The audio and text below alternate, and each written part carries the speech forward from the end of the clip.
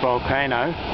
This is something hissing coming out of the volcano. I hope the wind keeps blowing in the direction it's blowing because um, I can't smell it from here. This is what it looks like anyway. A little bit of a view coming up.